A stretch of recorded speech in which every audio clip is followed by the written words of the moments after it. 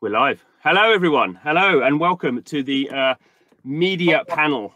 Um, so, I guess we've all been talking about NFTs, and uh, we're going to talk about NFTs as well.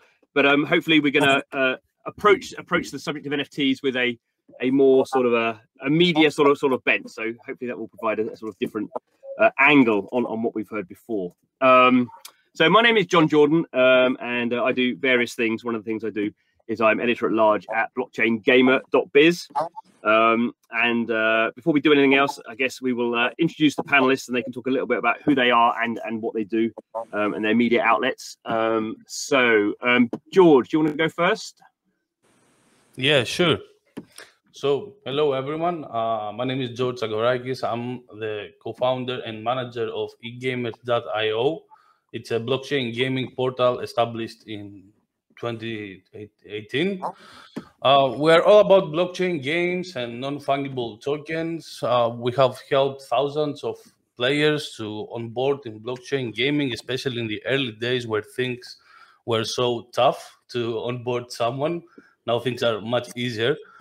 And we, we are steadily growing. And we are doing media. We are doing, uh, you can find us on YouTube and other social media channels. We pretty much that's all from me. Thank you. Good. Thanks, George. Um, we seem to have lost one of our panelists, have we? Is that right? Or yeah. Am I trying to add them up right? We lost Andrew. Lost Andrew. Oh, I'm sure. He'll come, I'm sure he'll come back. Okay. well, he can, he can introduce himself last. Um, okay, uh, uh, Leila, do you want to uh, go next? Sure thing. Um, so I'm Leila. I'm the features and opinions editor for BeInCrypto. Uh, BeInCrypto is a a blockchain and crypto media uh, news website. Um, we're one of the top five crypto websites in the world, and we've been steadily growing since 2018 when we started. Our focus is on providing um, transparent and unbiased news. So yeah, it's been great. cool, good, good. Uh, obviously, NFT is not all about gaming, so maybe you you can help provide that sort of angle. Um, Andrew, welcome back again. Do you want to do you want to do you want to introduce yourself? Oh, you can hear me? Yeah, yeah. I don't know what yeah. happened. I just no, no. disappeared. So yeah, I I started uh, blockchaingaming.com uh, a few years ago, back in the days of like Hunter Coin and Spells of Genesis, and it's basically just a portal to different things like a wiki and a forum, and uh, we do trading and stuff now. I've started an accelerator program um, I also like to mint some art NFTs lately. I've been helping some art activists NFT and tokenize their art. Cool, good. And another another tick on the uh, on the gaming side. Um, uh, let's uh, uh, Theo. Do you want to explain okay. what, what, you get up to? Um, so I'm the co-founder of NFTevening.com, um, which is an NFT-focused website covering news of the whole ecosystem whether it's digital art, collectible music, uh, you name it. Um, our goal is to uh, create accessible content and to build one single place to accompany any artist, investor, or NFT enthusiast on their NFT journey. Uh, it's a recent project we just started a month ago, uh, but our publishing company behind it uh, has been, you know, operating website for the last three years. Um, we are reaching like 25 million a month uh, in like languages, 20 different countries.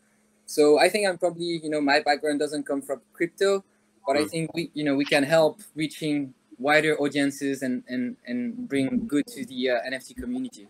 Um, so obviously, because my business partner and I are both uh, NFT enthusiasts, we decided to dedicate some human and financial resources into that project, and we hired, you know, more knowledgeable and and uh, more qualified people than us that are covering uh, these news. Good, excellent. That's another tick in the in the uh, generalized NFT camp, um, and our third tick into the gaming camp. Guy, do you want to introduce yourself? Uh, yeah, my name's Guy. I'm uh, from KryptonGamers.com.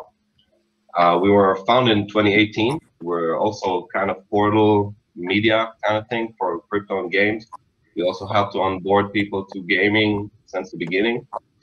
Uh, had one of the first actual NFTs that we use as a membership. So we also have a little touch on the utility and use cases aspect.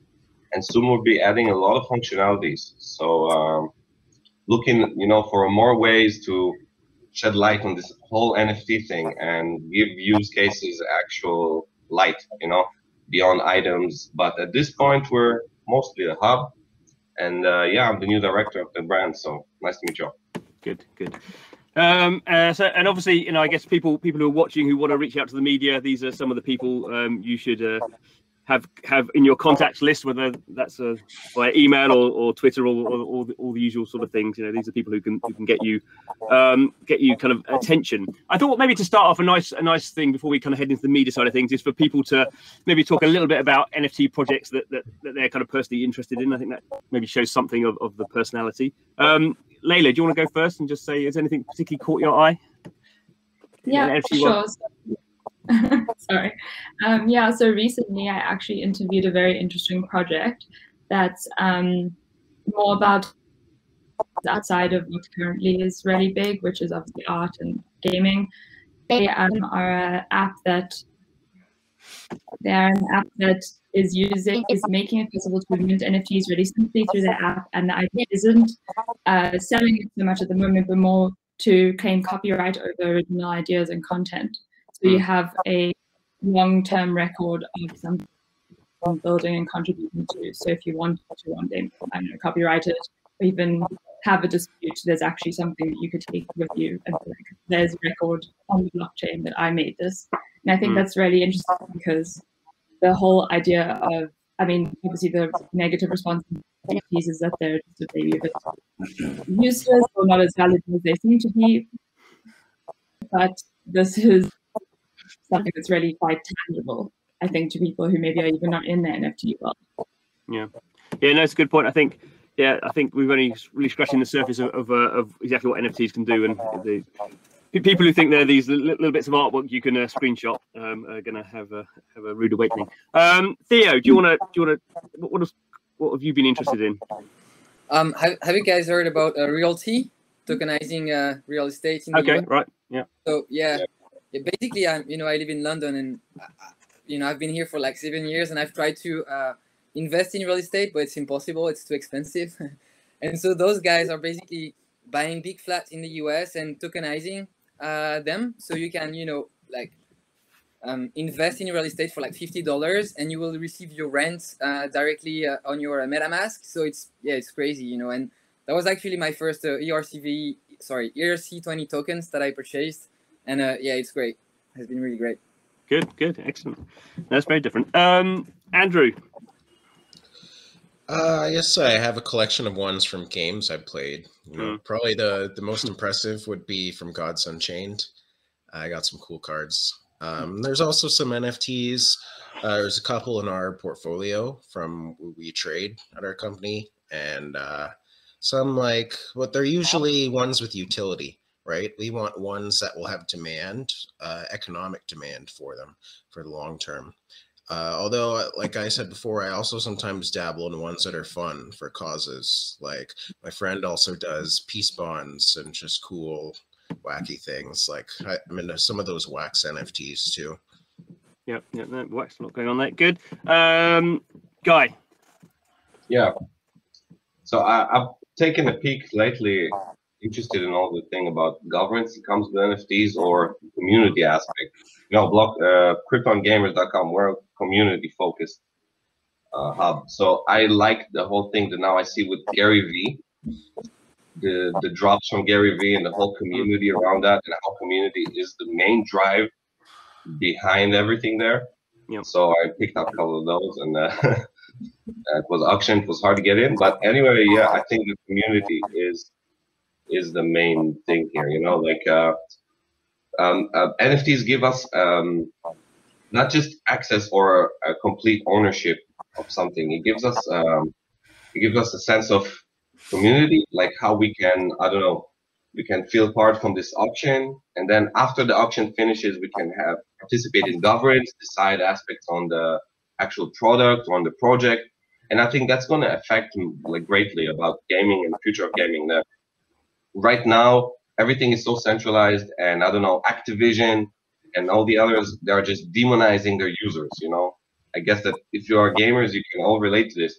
I think that nft is really going to come, and, come up and solve that. Mm-hmm. so yeah starting starting with the arts but i think ending up with the utility. Like i have to i have to agree uh, I have to agree with Andrew that utility is is what it's all about, and the arts are just like a platform for everybody to open their eyes to see what this even is. Mm-hmm. It is, it's a good point. I think um, that obviously a lot of the headlines at the moment are focused on on, on financial value, um, and that's obviously a thing that catches people's attention. Um, but in a you know in a very key way, the only reason that these things will have long term value is if there's a community providing uh, their value. And you know, it's interesting. I, I, would slightly, I would disagree with you actually. Um, I, think, I think utility is is does allow communities to kind of coalesce around NFTs, but I, but um, I don't think you actually need utility per se. So I think kind of CryptoPunks is a good example of something that has sort of has no, I guess, di- direct utility. I guess we can say it has indirect utility as people using it as Twitter um, kind of uh, avatars. Um, but but the kind of a community has developed around that. So it's not to say kind of there's, there's one way of doing NFTs projects. I think I think you know, broadly people find their own way, but I think underpinning it all, you're exactly correct. Like community is the thing is the thing that that uh, makes NFTs valuable financially and also um, emotionally, and and it's obviously, obviously different different values. Um, George, I imagine you've got wallets full of NFTs. what, what, what NFTs are you, are you, interested in? A lot of wallet. Uh, yeah, so. Jon, uh, there are many, uh, I could say, interesting NFT projects out mm. there, right? Right.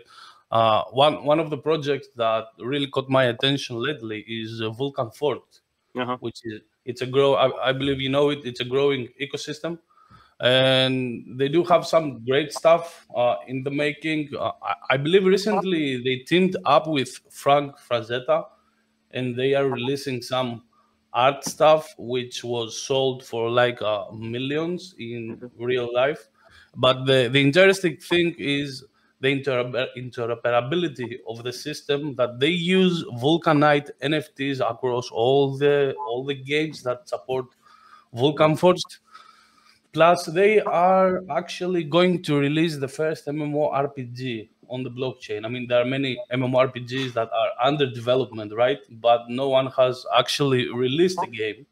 So I think the beta is coming very close, and I'm really bummed for this project. I really like this. But yeah, there are many interesting NFT projects out there that we could talk endless about this. Mm-hmm. I think yeah, it's a good. It's good that you, obviously you all chose sort of sort of different projects there and had different slightly different approaches to it. And I think that that goes to show that that NFTs are, are much broader than than I guess the majority of people would think, and that probably probably even even NFTs will go much broader than than, than, than even we kind of imagine at, at the moment. Um, and I've always been surprised in the last kind of couple of years, really, how, how we've seen just a lot of kind of IP companies, um, you know, taking NFTs as, as, a sort of brand extension to what they're already doing in, in the physical world, in the digital world.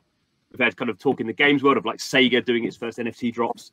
Um, we've got some Olympic stuff going live um, next week with Animoca brands. We've got stuff like Dr. Seuss coming in. Yeah, it's, it's kind of brands I wouldn't necessarily would, would be would be like you know be in the vanguard of putting things on a blockchain. It seems like you know actually quite a lot of these kind of fandom um, projects as we call them now. Um, uh, all of them are, are coming onto the blockchain, and so NFTs will be.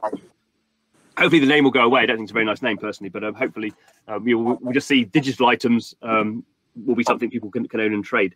Um, so we have questions coming in, so that's really good. We will come to the questions. Oh, there's loads of them. Um, and and the uh, the best question will will be rewarded with with a uh, NFT. Not quite sure what that NFT is, but the organisers of the conference um, will be sorting that out. So keep the questions coming, and we'll kind of uh, crack onto them. Um, okay, uh, but but uh, as we are a media panel, um, I kind of thought it would be good to at least touch on that and and um, and sort of discuss, I guess, a little bit about our. We have different audiences, I guess, um, particularly uh, uh, Leila and Theo. Um, do, do, we do we think our audiences are, you know, how, how do we think they they are looking at NFTs? Do we think that they sort of understand the deeper consequences? Are they are they really worried about some of this, stuff about sort of climate change and and, you know obviously been a big sort of backlash in some uh, kind of communities around around running NFTs on, on Ethereum. Um, Theo, do you want to go first? You have quite a broad audience. I mean, do you think people understand it, or is it sort of just seen as still a sort of get rich quick sort of sort of mentality? Well, I, I guess they probably understood, you know, the top of the iceberg, but they are missing lots of applications. So, you know, like um, I think because the mainstream media lately talked about, you know, Beeple's sales, you know, everybody heard about uh, crypto art and and the fact that you know you can prove your ownership, uh, it cannot be counterfeited. But you know, I mentioned realty before, and this is an application in the real estate, and, and I, you know, can miss that. Uh, but the fact is that NFTs, uh, like as opposed to crypto, they are touching a, a wider audiences. It's so diverse, uh, it's fun, so people can come from uh, you know different horizon. Like I mentioned, music, collecting, and there was uh, this guy that was doing an interview on on Bank- Bankless podcast uh, recently, and he said NFTs are like a Trojan horse for uh, hmm. crypto. So basically, it's the first step for them about blockchain and, and, and Bitcoin and Ethereum. So yeah, you know, I think we just need to, you know, in, in the crypto world, everything uh, is about decentralization. But I think for content, and if we want uh, the NFT ecosystem to grow mainstream, we need to centralize the information and make it accessible. The, the content being accessible itself, but also the, the medium. The, the, the information is everywhere at the moment. Uh, you know, all the marketplaces have their own, um, you know, Discord channel, Reddit group, and if you want to get exposed to that information, you need to subscribe to 100 groups. Mm-hmm. Um, so yeah, I think you know centralizing information would do good to the ecosystem. Mm-hmm. Cool. Yeah, that's good. Good. Uh, no, it's definitely the case that uh, that uh, NFTs um, are a lot more, a lot less abstract than sort of tokens. I mean, tokens obviously attract a certain sort of trading sort of uh, sort of community who've been in crypto for for, for forever, um, whereas NFTs. Uh, uh, I guess kind of make it a bit more, as you say, fun, a bit more. They own this thing, whether it's artwork or, or music or something. That, that, makes it a bit more kind of relevant to people. Um, Guy, how, how do you think your audience um, is reacting to NFTs? Yeah, like I said before, you know, um, and like you agreed with me, community plays a big role. You know, at first, uh, I think it's just a drive for adoption. You know, gaming, it's it's a huge multi-billion-dollar industry. I think everybody everybody's already noticed that. That's why there's so many companies sparking up every single day. You hear about next gaming, uh, like blockchain game, and uh, I see I see just how the community can affect the result of all this. You know, internet phase. You know, when just like when the first game developers were doing it from their home, then they started these companies, and then it all turned to a big startup bubble. You know, because gaming drives innovation. Well, that's the way I see it. That gaming now is like a gateway. It's going to be untapped. It's untapped potential. They're just waiting there. And the moment that we cross this threshold that gamers understand NFTs and NFTs represent ownership of their accounts, their packages, you know, like their tiers of their accounts, not just the items, and their interactions with each other in, in the community as governments in their guilds or in their tournaments and whatever, then we're going to see like a flood. And the moment that that's, that's that threshold is passed, I believe there's not going to be any turning back. You know, once we mm-hmm. pass this threshold, there's not going to be turning back because once a new like standard of verification is accepted and adopted, then you never see uh, organizations turning back. You know, I can tell you from the executive space that once something is adopted as a standard, it, you're not going back, right? So I can really see like how communities, you know, just uh, uh, track back here. Krypton Gamers really started as a cool place to hang out, you know, for gamers and to onboard gamers to blockchain and I think that it's a very, very big mission. It's an undertaking because um, everything that I just said, you know, the moment that the bridge will be crossed, then countless of use cases will be poured in and they're going to be so obvious to everybody. Right now, it's like the next uh, hidden thing that people are looking for the hidden utility. It's going to be very obvious soon. That's my mm, opinion. Mm-hmm. Yeah. Yeah, but I think that I, I think that's sort of what lots of people in the community so, sort of think about sort of gaming, sort of gamers sort of in, inherently get that they have in-game items because that's you know it's no game if you don't have a character in the game and you don't go and collect swords or you don't have a car and you get new kind of items to, to tune it up, then there's no game. So I think there is this idea that gamers sort of inherently get digital objects and they almost sort of inherently believe that they own their stuff at the moment, even though clearly they don't and they you know, right. can't legally trade it. But they, they sort of feel that they they should be able to because they paid money in Fortnite. Why can't they then trade that stuff? So I, I do think that, I agree with you on that point. There's this interesting connect with gamers will just sort of get it and as long as soon as you allow them to trade stuff, then why would they go to a game where they can't trade stuff? You know, so, yeah. And it's um, a huge community. Gamers yeah. are, are big, yeah, big. You know, they're a big uh, pile of people. You know, and we helped drive the previous innovations. You know, mm-hmm. the switch to mobile and the development of uh, so many use cases in the internet and the drive of uh, video cards and accelerators and GPUs and CPUs. I think that gaming is a huge drive in innovation and technology, and it's kind of overlooked always because it hmm. uh, seems like uh, just entertainment, but it's so much hmm. more than that. Yeah, yeah. good. Uh, Leila, coming at it from a more more generalized sense, I mean, obviously, kind of NFTs in 2021 have been this big explosion. Certainly, I didn't kind of foresee that happening in, in the way it did. Um, how, how, have you kind of felt sort of covering, you know, covering it from a more general point of view and having to deal with sort of art and music and, and, and all this sort of stuff? And what's the audience reaction sort of? Do you, do you feel like they just want to know more about NFT projects or are they sort of a bit kind of too much now, too much NFTs? I mean, the NFT topics still continue to be some of our most read articles, so I don't think that there's really been a slack of interest. Actually, it kind of at anything is just even increasing. I mean, content is. But I mean, we've so our site has really intense feature image graphics, and we've even had readers ask if we're going to make those into NFTs. So there's mm. definitely interest um, from our audience. And I think since our audience is quite broad, like it's not just gamers and it's not just people who are in, intensely into crypto. I actually think that maybe of our audience are people who are reading these reading these NFT articles and maybe are not even that involved in crypto or even have NFTs. They just want to know about this thing that everyone is talking about seemingly at the moment. So yeah, I mean, I think that there's a lot of interest. It keeps growing, and also as we keep it, it's the what there is to write actually cease at all. Like we covered, I think literally yesterday I covered a thing that was a roundup about ways NFTs are being used, and it was really extensive. And I mean, that's just going to carry on going. I think it's going to carry yeah, I think, yeah, good, absolutely. Um, Andrew, you want to talk a bit about? I mean, you said you're working with some sort of uh, kind of minting some stuff as well. I mean, what's the audience around that? How do you build community around that?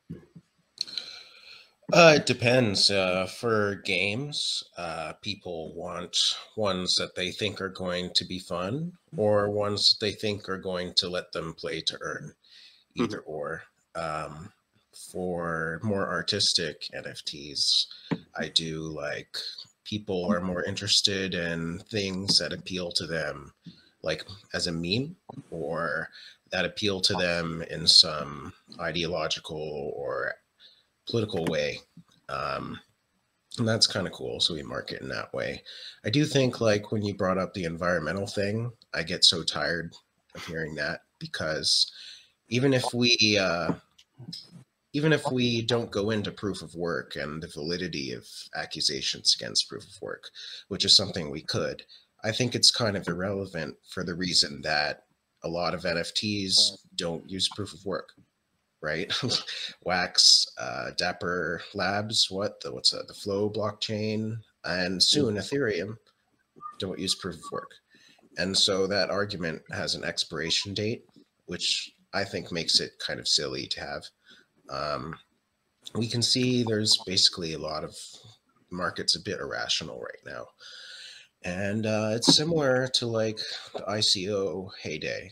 And similar to that, what I think is going to happen is the buzzword and its appeal as one will eventually collapse, but it will not. So we still have ICOs. We just call them IEOs or IDOs or something, but that's there's still ICOs, okay. But and it's just, it's the same thing that's going to happen with NFTs, in my opinion, mm-hmm. uh, going forward, and that's fine and uh, healthy. In fact, that doesn't. It's they're going to be important. We, we own some in our fund, just uh, you know, not crazy speculative ones. You know, that's why I target ones with utility, because those are more resilient to hype crashes. Yeah, yeah, we've definitely seen that. I guess with some of the uh, pricing. And I guess it's it is interesting. Going back to our community thing, it, you know, the fact that anyone can mint an NFT and and set it for some crazy price. Um, and that seems like at the top of a boom that that's like well that's great you can buy it and then you can you can immediately sell it for more Um, but even if it's say like a, a famous you know celebrity or, or influencer creating that NFT, if their community actually isn't sort of connected to NFTs and blockchain, the fact that you've sold something for a million dollars, they've someone sold it for a million dollars. If there's no one then do the next trade, then obviously you know there's nothing there. There is actually no community, and I guess one of the big issues for me around this sort of big boom we had with NFTs was that we had these very expensive items being sold, but there was no. I think it's fine to have the million dollar items, but you have to have ten dollar items as well, because that builds the community. You start off just wanting to own what you know whoever the celebrity is, or something that they've minted. Ten dollars is fine. Don't, it doesn't matter if the price goes to zero, but that sort of gives the foundation to then create these these more expensive ones. And I guess with CryptoPunks, know, the obvious example, all given away for free. so, so that was really um, that really built the community because they were just they were just freebies. And I think it's still like over sixty percent of those CryptoPunks are in wallets haven't been used, even though these things are now selling for tens of thousands, fifty thousand, millions of dollars. Um, okay, so we're getting some good questions in now. So I'm trying to kind of pick up the ones that I um, think sort of are appropriate to us.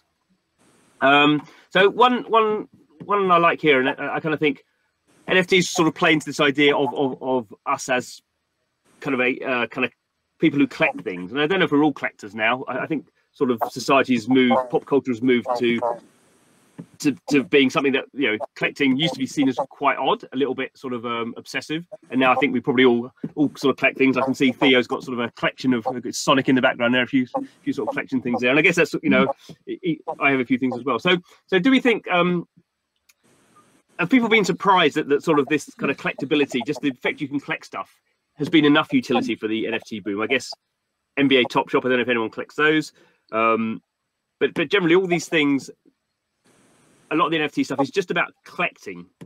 It doesn't really. We don't actually really need you know. Um, it's good to have utility about around these NFTs, but sort of collection seems to be enough, and to get a complete set seems to be um, do something into our brain. So this question uh, from Upland Dude.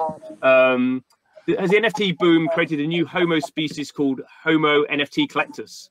which, is, which, is, quite good. So, does anyone, anyone I'm not going to ask everyone all these questions now, um, so we'll go through a bit faster. But does anyone have any views on sort of collectibles and and and how um, the role that um, NFTs and collectibles play? Who wants to jump in? Are you Andrew? You you gearing up for something there?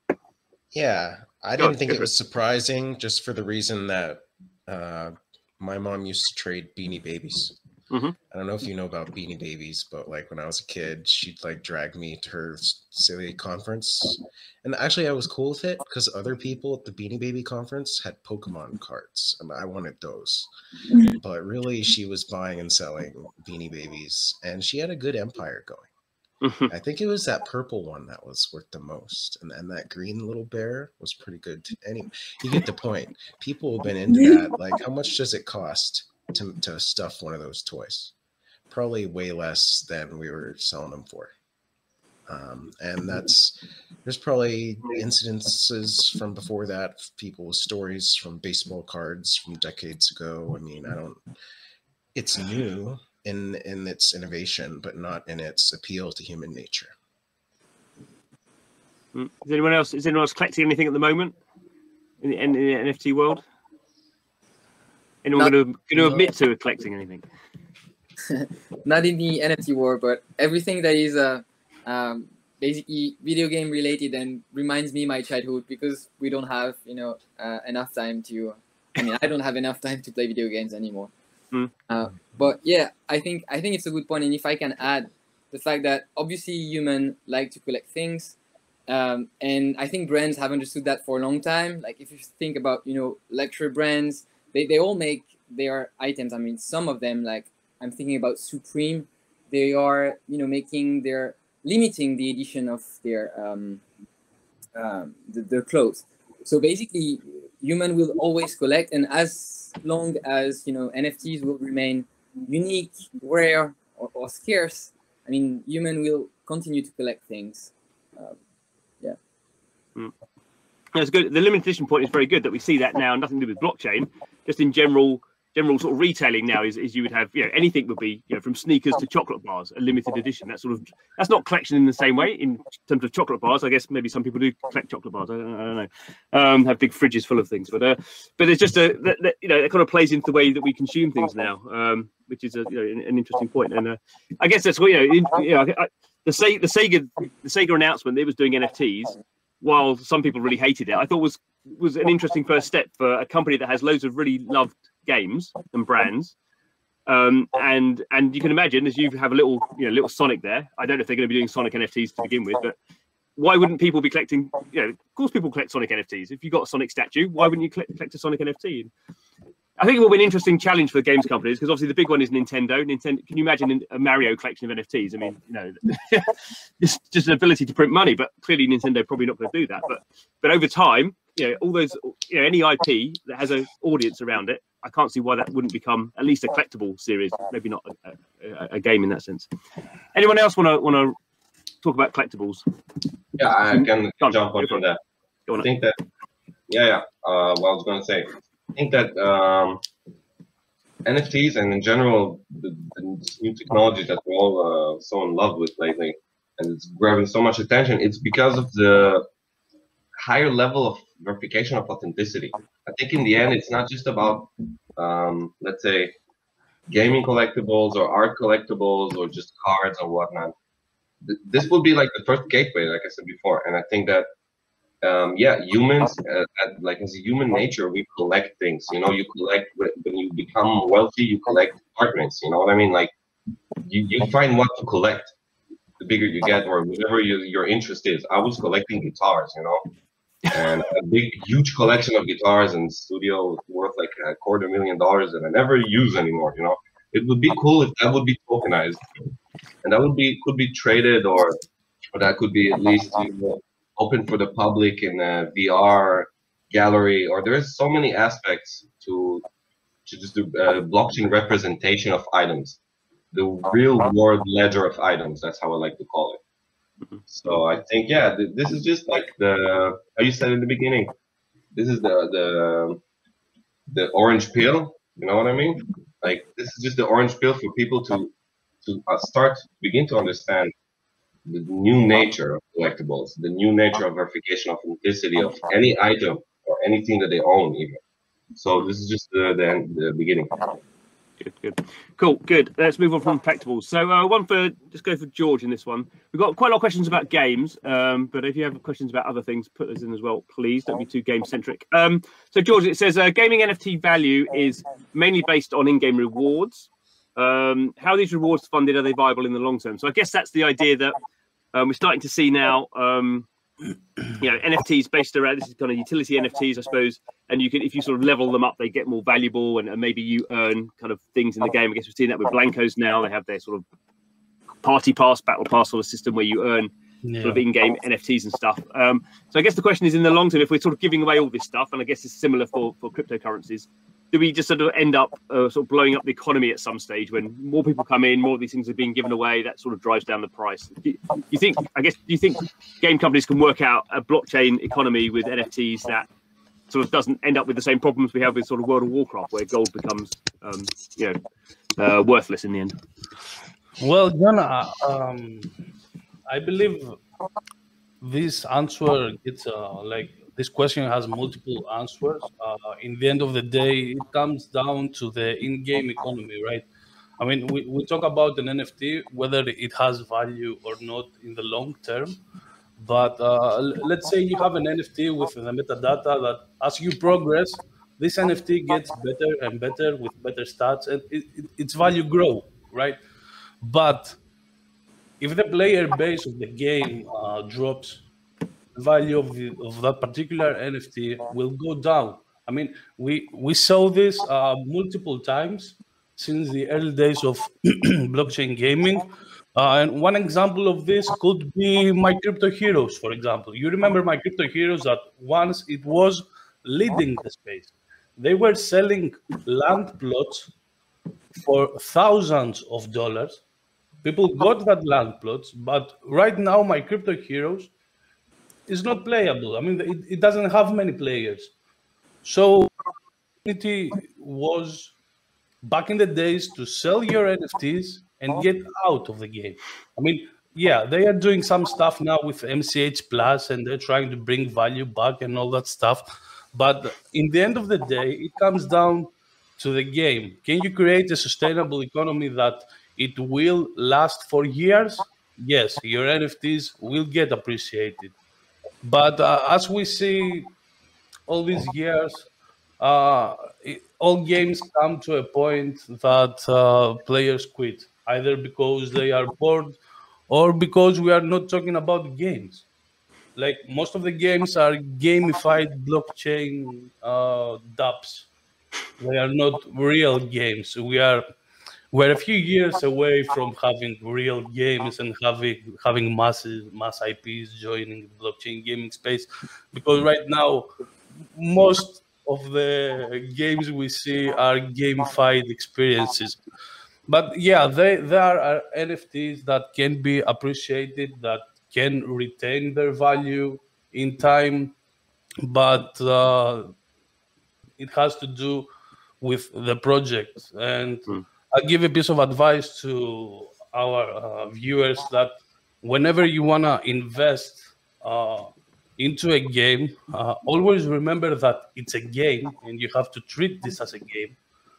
Uh, an NFT that might bring yield or it might allows you to kill the the best boss in the game.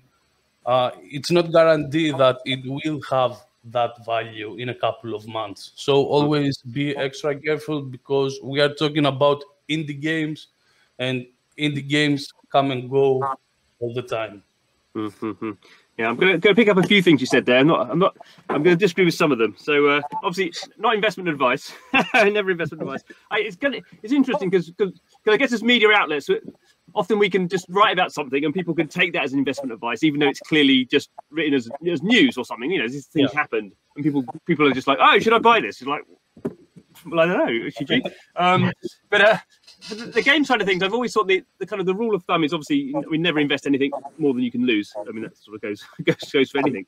Um, but I think if you buy a game, for me, if I buy a game NFT because I like the game or like the artwork, then then you, you can't in a way you sort of can't lose because you kind of you like the project you, you you bought some stuff and actually my crypto heroes is a great example you brought up there george i really love the artwork there so i've actually got quite a lot of of those nfts just because i think the pixel artwork is really nice yeah, uh, I don't play the game. I just you know occasionally go look at the prices and buy ones that I like. So I think that's you know I think and I and so from that point of view, I don't really care if the price has gone down. Um, you know, I probably spent a few hundred dollars buying these things, but I just like them as bits of art. So so you know, the people who go piling in, as you say, sort of buying land for tens of thousands of dollars because they think it's going to make them a millionaire. I mean, that's that's where the problems um, kind of really start. Yeah. Also, it, one. Come, you go. You go. Yeah, it won't like. Uh Take for example Axie Infinity. Mm. Axies back in the day used to cost what one dollar? Yeah, ten dollars. Yeah. Now, now you have to pay uh, like uh, 20, 200 bucks to get an Axie. Mm. You need one thousand dollars, which let's be honest, one thousand dollars is money. In some countries, it's mm. two months payment. Mm. For other countries, it's like three days work, but in other countries, you work two months for this kind of money, and you work you give 1k dollars to get just a team that it's not a killer team actually you just pay that money and hope you can win some games and grind the daily slp and all that stuff uh, but yeah where is axie going for example are hmm. axie going to cost uh, like $1000 each in the future or they are over appreciated and they will fall, uh, fall in price if the SLP price, for example, goes down in the future.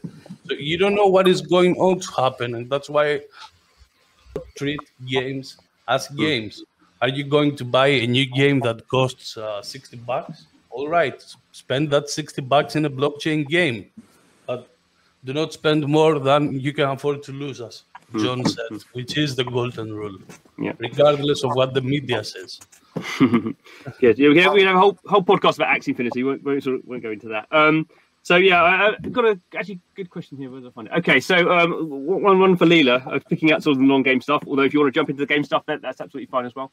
Um, so uh, this is Marco uh, Penna. Um, so saying. Uh, um, so he's saying this is, uh, I guess, kind of NFTs are are the biggest fusion of all time on the internet. Gamers, crypto lovers, NFT lovers. Um, uh, you know, and I, and I, guess probably all of us are quite kind of kind of bullish on on blockchain in general. Otherwise, otherwise we wouldn't be in this space. Um, do we get sometimes a little bit carried away, like like suggesting that for every every problem the solution is blockchain? Um, where do you kind of where do you kind of sit on that?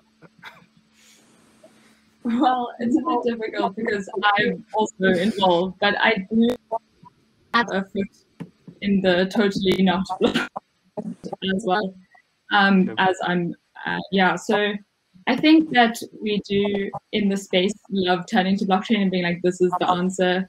NFTs are like the revolution that is going to bring everyone or something like that. And I mean, I'm not denying that there's definitely more interest from people who are not involved in crypto, who um, who have like about NFTs. That's not the case. But even talking about um, even talking about the collective thing, saying that it used to be some weird part of the world, and I'm kind of like, for some people, for a lot of the world, NFTs is still a weird collectible corner, not actually this like a universe kind of that we feel it is. So um, I definitely think that it's NFTs a great way to bring people in and people. I mean, even if it's just by being a bit against that, they still know about it and they yeah. can maybe be converted. But um, yeah, I think in some ways we do get a little caught up in our own hype and uh, and I mean the world's a lot bigger, especially the countries and people that can actually be involved. I mean, even just mentioning the aspect about a thousand, I mean, most of the world can't afford it. What is mm. in space? So yeah, I mean, uh, whether or not is a whole other question because I mean, the future, I would say. So yeah, that's kind of what I think. Yeah, I think I think for me, it's definitely the case I'm very bullish on blockchain, but that doesn't mean I'm very bullish on all blockchain projects. It's I think there is a sort of a winner, not necessarily winner takes all mentality, but obviously there's there's a wherever there are hundreds of blockchains out there. I don't think we need hundreds of blockchains. I think you know I think most people think that'll boil down to a sort of a, a smaller number, and I think the same with games and, and, and other projects. You know, we there will always be more things launched in this sort of early stage period than than can actually sort of find an audience, and, I guess that's where um, you you kind of the, the, the kind of success goes to a few cases, not not not to all the cases. Um, okay, let's uh, get one for uh, Andrew here about. So this is a question from Edwin. Um, a big part of, of having in-game assets um, is you can sort of sell them outside the game. Uh, do you think games will collaborate to reuse NFTs, interoperability? Doesn't that make the latter game sort of lose money because they can't sell their own NFT? So if I kind of reframe that, I guess there's a broad question in blockchain games. We've always talked quite a lot about interoperability. So taking an NFT asset that's minted in one game and using it in another game. We haven't really seen a lot of that um, from my personal point of view. Um, do we, do, you know, do you think that that will be a big thing in blockchain gaming? Because um, because you can't really do it without blockchain, so that's something we should we should be doing more of, or or is that just a bit too complicated in terms of sort of game companies having to collaborate um, in quite a specific way? Um, no, I think interoperability is, is fundamental for NFTs and the reasons for implementing them. I, I also had some thoughts about a previous question, if you don't mm-hmm. mind. Um, the one about where the value of NFTs and games comes from, because my answer is going to be uh, like framed as a market maker. Although on a fundamental level, I agree with George that uh, money enters the game economy through players, if not directly, then indirectly. But technically, there are two main ways we see of what's, you know, how coins hit the market. Um, and one is uh, new players issuing buy orders, so new money entering the market from other places. The other is uh, when we start talking about human mining, you know, is tokens being created within that game economy itself. Like uh, there's some games like there used to be one called MotoCoin, and it was proof of play, which is kind of like proof of work or proof of whatever you mine to uh, transactions through playing. So the coins, the new money is like being printed essentially, you know, just like it would for any other coin. Um, but yeah, in terms of interoperability, I think that's kind of mostly the point of NFTs for games, and people have been doing that for a while. There are some there are some games I played that do that. Um, I used to be into Sarutobi, for example, which crossed with Spells of Genesis. Um, there are a lot of different examples. I just can't think of any off the top of my head. Yeah, the, the engine ones, for example. Yeah. The multiverse games. You have interoperability there. I guess what's interesting is, is for me is I guess the more the more interoperability you have, the sort of the less freedom potentially a game designer has because they're having to design around assets they don't have control over. So so I guess the, the idea might be interoperability is sort of great, but it actually maybe lessens the experience. It's interesting, George talking about we don't have any real games, which is a very a very gamer thing to say. Any any game is not a real game unless it's unless it's kind of a World of Warcraft. Um, but uh, but I think you can. I guess we did have back in the day. We had the had Kittyverse, which was um, you know people taking crypto kitties, which you couldn't do very much with apart from breed, and then having very simple mini games based on them, um, which was kind of functionally worked, but um, didn't really gain a lot of audience. And I think that was because those experiences were not not very very engaging other than the fact that they sort of existed um, i guess that's the barrier for interoperability that i, that I, that I see um, i think developers are more concerned than players about that issue okay in that uh, like we all want to move our assets around but some of them want to wall their gardens and hmm. protect mm. ip um, which is definitely a struggle and there is a big i mean in that question from um, can't remember who it was from but uh, erwin um, you know a, a way in which game developers make money is to is a primary sale, a pre-sale, you know, minting their own stuff. If a if a developer can't do that, then how how do they make money? you know, all they've got then is, is someone trading through a marketplace, which is a sort of different model. So um, so there is a there is business cases as well. Um, let's move on. So Marisa has asked lots of questions. So I think we should we should go and uh, answer one of her questions at least. And it goes back to what we were originally talking about. Um, community. Um, she says, I think community will play a role which cannot be overrated. Um, so, what do we think about part of the community in, in this new world? So, again, a sort of broad question, maybe rehashing what we've already said. Um, so, uh, so we go to uh, kind of Theo. How how do you think that we can sort of improve uh, or kind of accelerate the, the role that sort of NFTs can play in sort of building communities? Well, I'm kind of going to repeat myself, but I think you know, like that was my intuition when I started to learn about NFTs. Like I had to subscribe to so many things just to get exposed to information.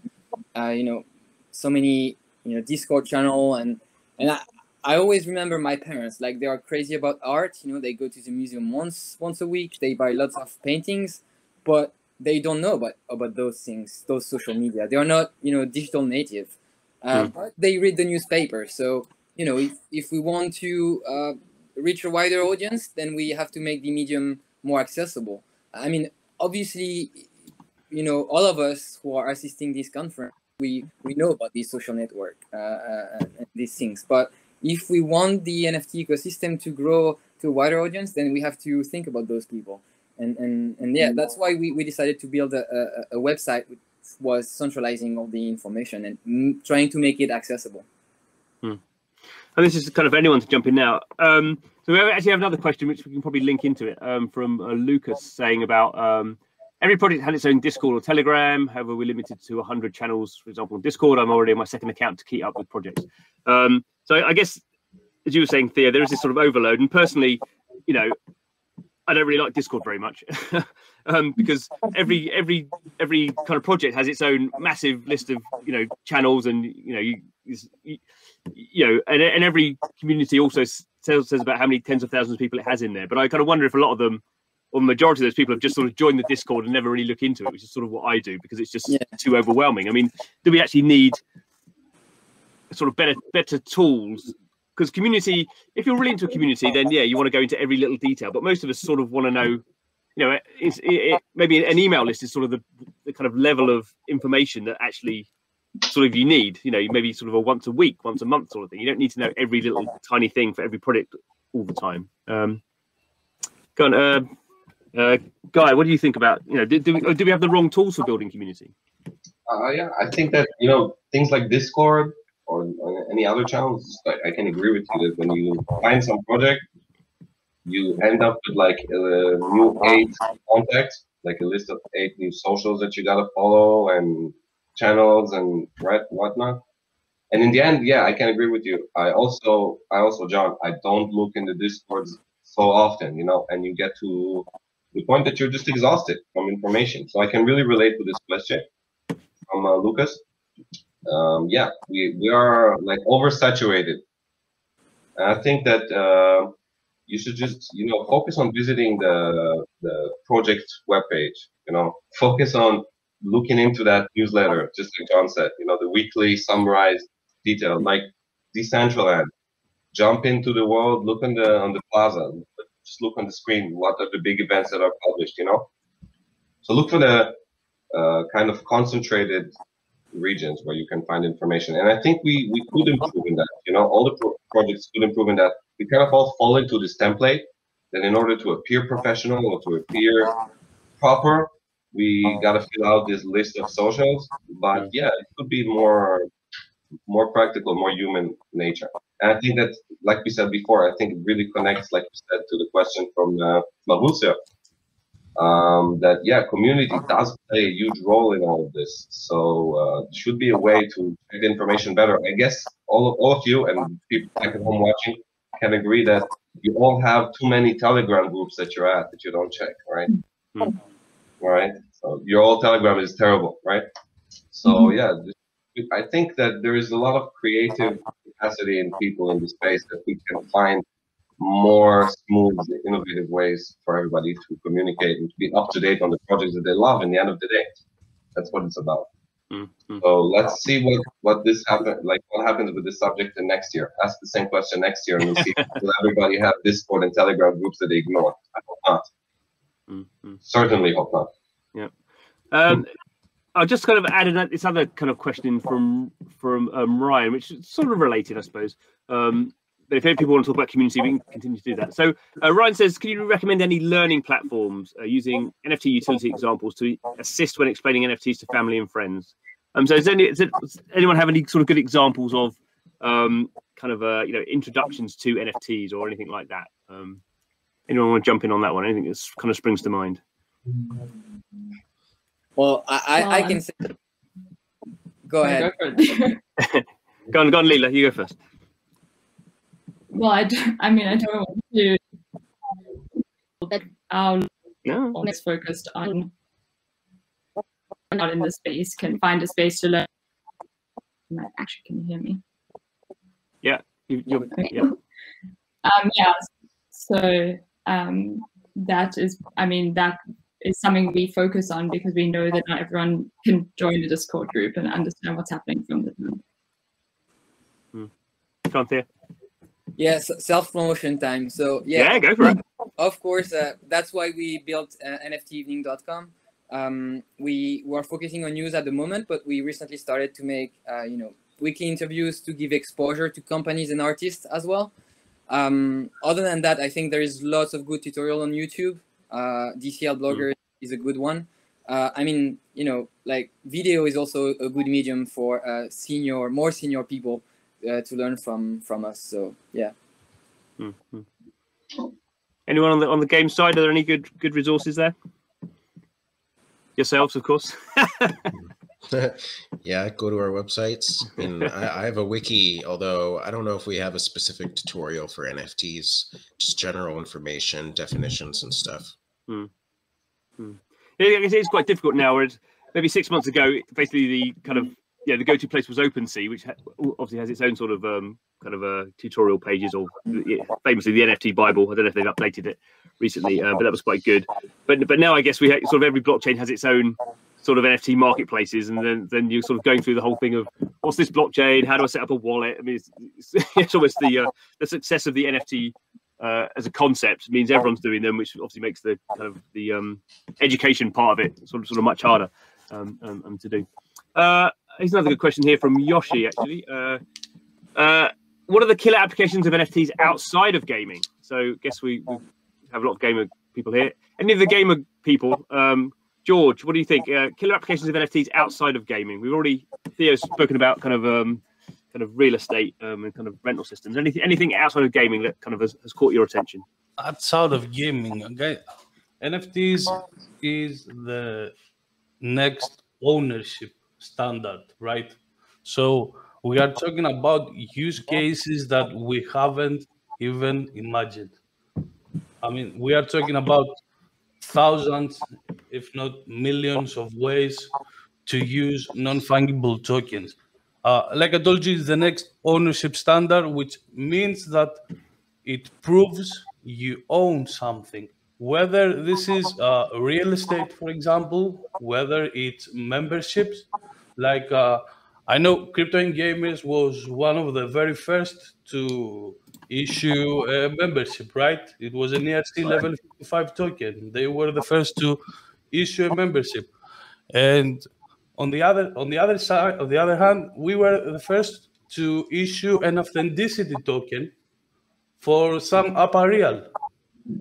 So one one use case, for example, it, it can be an NFT or it can be a fungible token, but it, it can token for something that you bought, whether this is uh, a T-shirt, whether this is a, a painting, for example, which proves that this comes from the original author, uh, and there are like thousands of use cases, are tickets for conferences, like even they, they are talking about tokenizing the stock market, which will be like very good and uh, it will cut down the expenses by a lot for the stock market, right?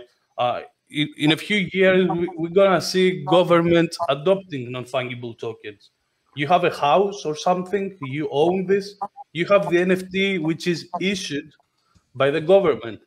It won't take long for this to happen. Like uh, as you also made uh, Bitcoin a public tender a few days ago. So we are actually doing some baby steps, but adoption is coming. Adoption is here. So we're gonna see millions of use cases. NFTs will change the way we interact with each other. It will change the way we own stuff. Mm. So that, that's my view on and on tokens. Mm. Yeah, it's an interesting kind of a specific case actually. Um, that um, uh, so so so if people are interested in, in DeFi, the uh, the new version of Uniswap, um, Uniswap version three, uh, now basically you, when you lock in your liquidity pool tokens, because of the way they've restructured it and it's much more advanced in how you kind of set up your how your tokens are traded.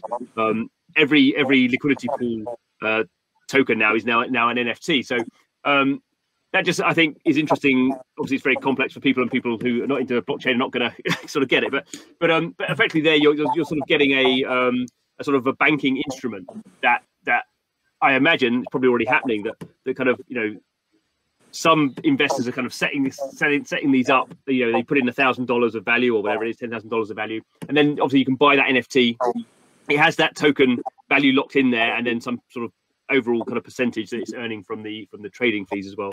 And so that's the sort of way of allowing people who wouldn't otherwise be able to to buy these sort of um, you know uh, sophisticated kind of trading uh, kind of mechanics. Just you know, they just basically buy an NFT and they don't have to. Probably they should worry about what's going on inside there, but but, but fundamentally, when you go to sort of a you know a bank, a bank or financial advisor, they're sort of doing that for you, and it'll be interesting to see if that kind of a process allows people um, to kind of have more control over over their kind of finances. We'll, we'll, we'll see. Um, sort of coming to the end now. Um, then if anyone else wants to jump in on other non-gaming NFT applications, uh, I agree with George. Go. Okay. Yeah, luxury. Hmm. Uh, we, we, we're seeing luxury brands, you know, that have issue with counterfeited items that are starting to use it as well, and I think that will be one of the uh, most common application in the next few years like if you think about Rolex, for example, like lots of uh, counterfeited Rolex in China, for example. I mean, it's it's a good way for uh, any any customer to uh, resell it on the secondary market and and basically prove that you know it's a real one. Yeah, I can also jump on that. I think that uh, one of the unexpected aspects that we're going to see from NFTs is uh, identification. I know that there's so many projects running on this space right now of identification and origin tracking, uh, like OriginTrail and so many others. But I think NFTs are going to play a role in that as well, in the way that people are going to own their identity. You know, self ownership is a thing that is currently not allowed for us to, to even have to dream of. You know, and I think that in, uh, the modern states, we're going to see that like we're gonna see people claiming self-ownership and using an NFT to really prove who they are, not just the items that they own, but truly own their identity. And I hope we see that. Mm-hmm. I think we're sort of coming up to time now. I'm just trying to see uh, if we should be should be stopping. I guess we probably probably should be stopping. Um, so let's uh, just quickly go. Uh, final questions. Uh, cross-platform NFTs. Yes, definitely think that's happening. Um, everyone from different companies are sharing together publicly, not completing. Will this trend continue? Nah, uh, we'll, we'll, wait and see. I guess on that one, Duncan. Um, I guess at the moment, still blockchain. Blockchains tend to be open source, so I guess they're going to be a bit more. Uh, it, it, makes sense for people to share stuff rather than try and compete. Although obviously, to, to a degree, blockchains compete against each other.